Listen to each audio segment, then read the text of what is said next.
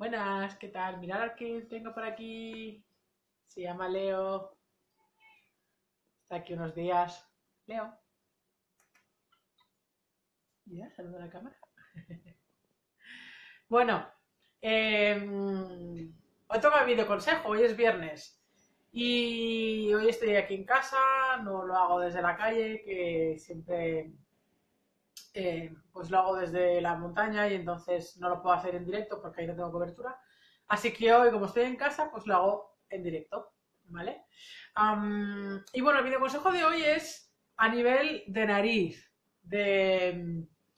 Sobre todo, si tienes un perro ansioso, o sea, con problemas de ansiedad, si tienes un perro reactivo, o tienes un, perro con problemas de conducta o con, mm, con comportamientos agresivos, eh, una de las cosas, aparte, o sea, tienes que hacer muchas cosas, ¿vale? Pero una de las que te puede ayudar mucho es el tema de eh, los olores. Los olores. Hay estudios, hay varios estudios en Estados Unidos, en los que eh, se ha comprobado que la lavanda, la camomila y el sándalo son olores que relajan al perro. Se han hecho, se han hecho estudios con perros, con perros ansiosos, con perros sobre todo muy ladradores y con problemas de conducta así más de conductas agresivas y eso, y con perros reactivos.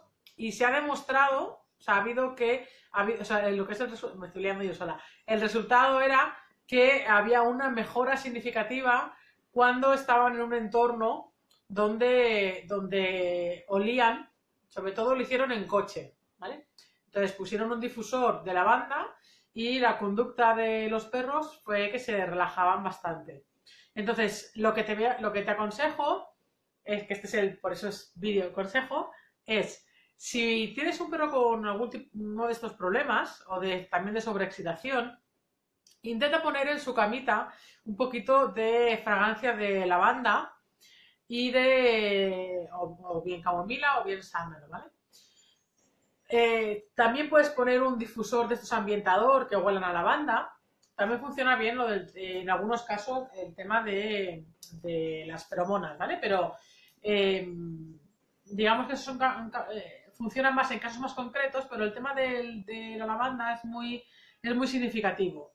Entonces, si puedes y tienes el acceso pues, con aceites esenciales de lavanda, lo más, natural, lo más natural posible, y puedes ponerlo en diferentes puntos de la casa. Si haces una preparación con aceite esencial, tienes que tener en cuenta que la dosis tiene que ser muy reducida, porque el olfato del perro es mucho más poderoso que el nuestro. O sea que si tú preparas, por ejemplo, un botecito así, eh, no tengo ninguno por aquí para enseñarte. O oh, bueno, mira. esto es... Espera, ¿eh? Por ejemplo, esto sería un botecito ¿vale?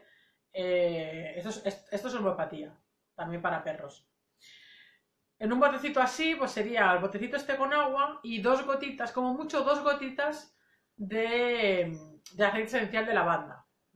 Entonces eso, pues en un difusor o tal, y puedes untar un poco eh, en su camita o en lugares donde, donde se pueda relajar, incluso dárselo a oler en diferentes, en diferentes momentos. De esto voy a preparar un artículo donde hablaré de todo ello.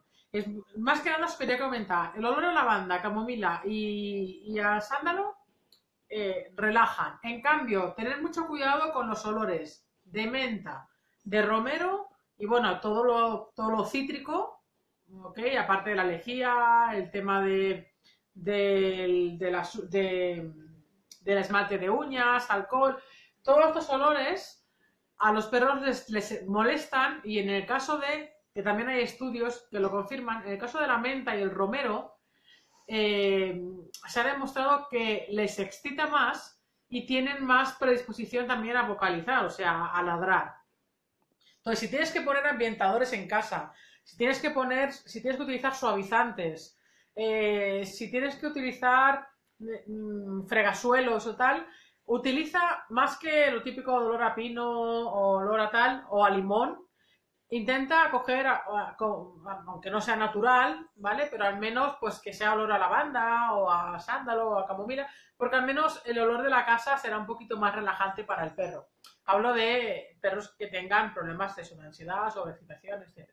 ¿Ok? Así que hasta aquí el video consejo de hoy en directo y nos vemos la semana que viene. ¿Ok? Os dejo aquí con... Aquí tenéis a Leo. Y aquí tenéis a Capitán durmiendo. Ahí, frito, está. ¿Vale? Bueno, pues hasta la semana que viene. Chao, adiós, adiós.